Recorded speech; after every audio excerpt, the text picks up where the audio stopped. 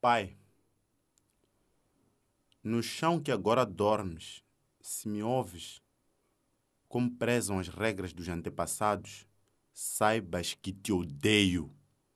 Acima de tudo, amaldiçoo-te por não teres sido meu pai. Que Deus me perdoe por isso.